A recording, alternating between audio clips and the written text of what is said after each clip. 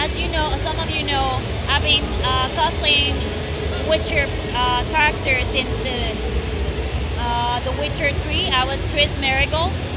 So now uh, it's a card game, and now I still being Triss. I'm trying to make the DLC from one of the DLCs of the the Witcher uh, game.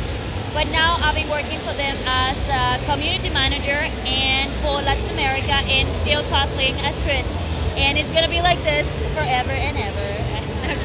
My favorite cosplay, you know, it's it's weird because in a show you're always like hugging people and then talking to everybody.